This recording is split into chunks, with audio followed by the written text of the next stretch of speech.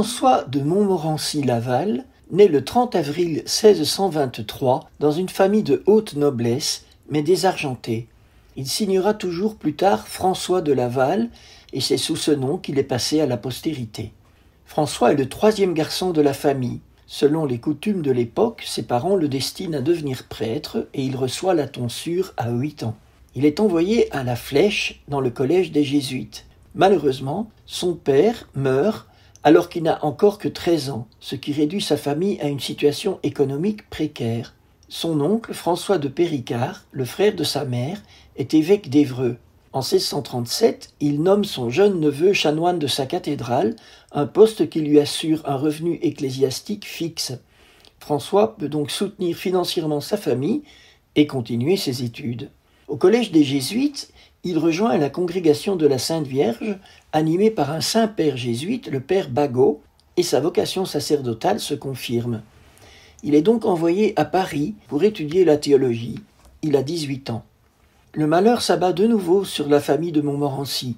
Ses deux frères aînés sont tous deux tués à la guerre, l'un en 1644, l'autre en 1645. La maman de François se retrouve démunie et elle le supplie d'abandonner son projet de sacerdoce et de se marier pour se consacrer à sa famille et en assumer le rôle de chef qui lui revient désormais de droit. François refuse, mais il se consacre un temps à la gestion des affaires familiales où il dévoile ses grandes qualités d'administrateur.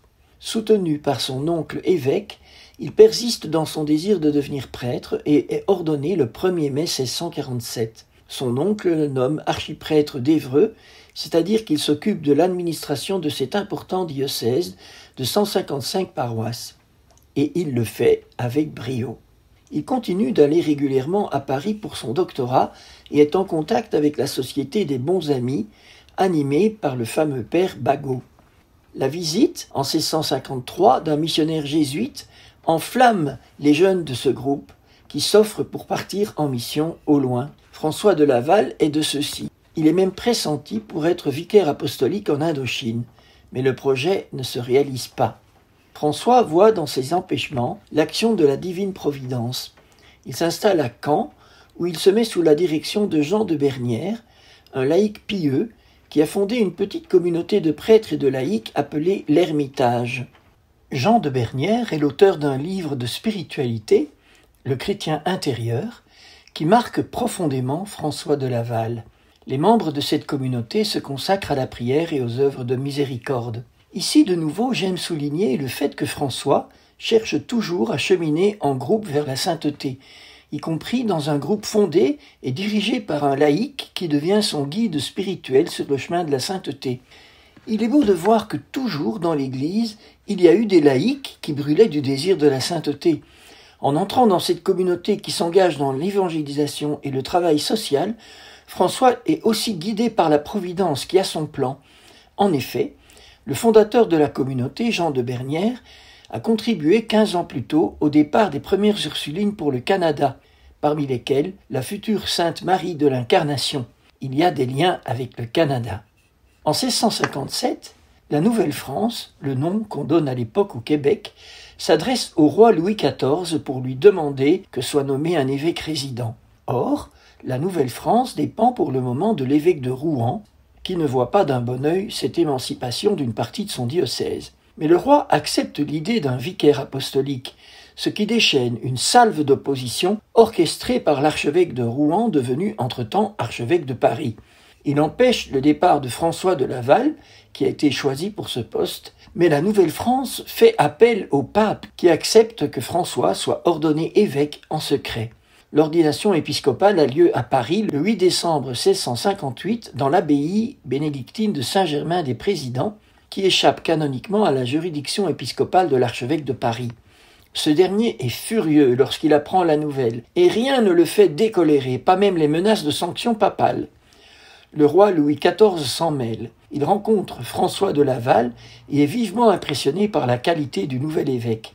Il devient un de ses soutiens les plus fidèles et efficaces, ce qui permet à François de finalement s'embarquer pour Québec, où il arrive le 16 juin 1659.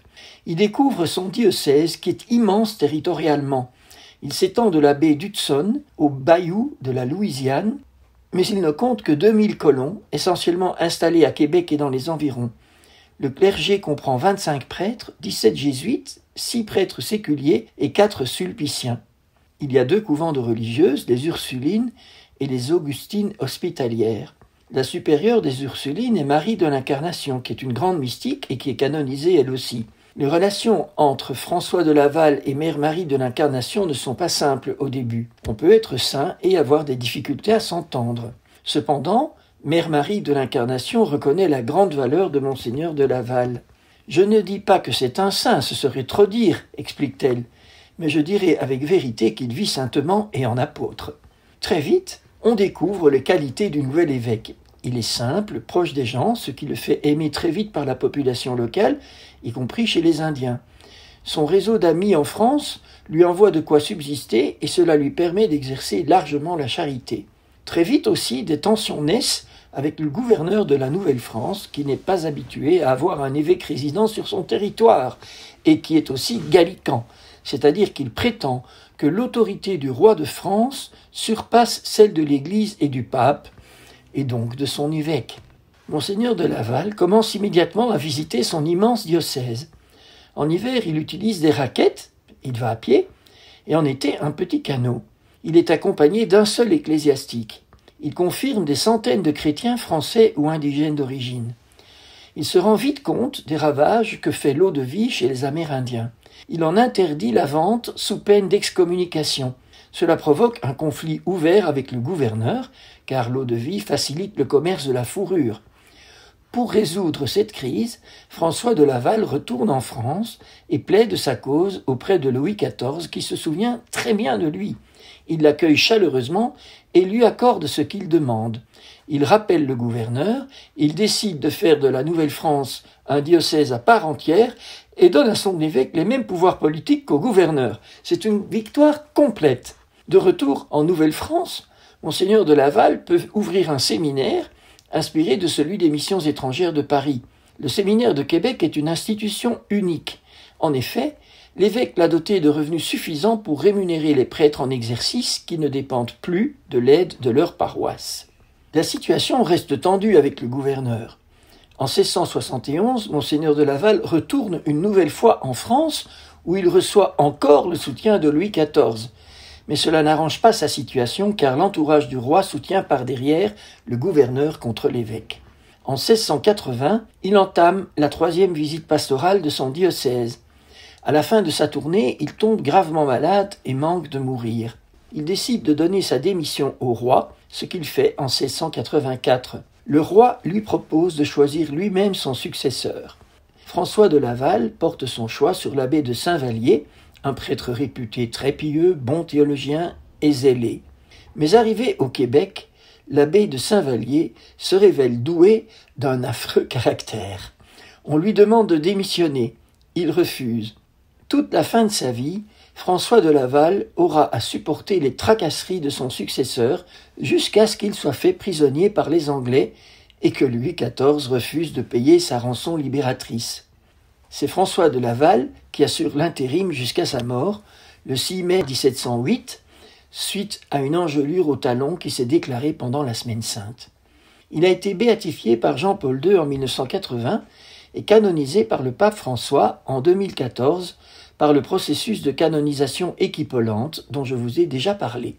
François de Laval est un des saints qui nous indique avec le plus de force la voie de l'abandon et de la confiance dans la divine providence, il a appris à voir la main de Dieu dans tous les événements de sa vie, qu'il soit heureux ou malheureux, convaincu, et je cite, que la providence de Dieu nous oblige plus particulièrement de nous abandonner entièrement à son adorable conduite et d'y mettre toute notre confiance, car, je cite toujours, la main de notre Seigneur est infiniment plus puissante pour édifier.